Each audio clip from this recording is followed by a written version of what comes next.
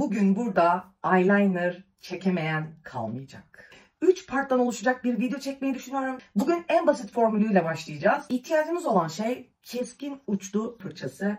Far olabilir veya da kremsi farlar olabilir. Farla şöyle, şöyle karşıya bakarak arkadaşlar buradaki amaç bu kuyruğu çekebilmek.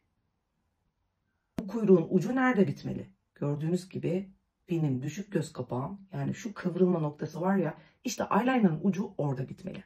Bu fırçayı al burundan şöyle kaş bitimine doğru bir şerit çek ve orada biten noktayı gör. gör.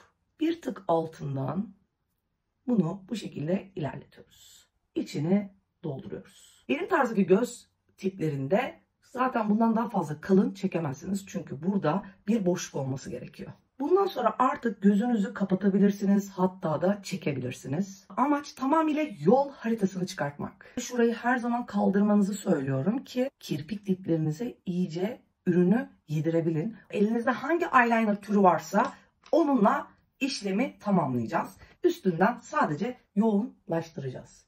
Yatay yapın. Hafifletmek istediğiniz yeri dikey tutun. En güzel yöntem. Devam için takip etmeyi unutma ve bu videoyu kaydetmeyi de unutma. Çünkü bu tüyo inanılmaz güzel bir tüyo.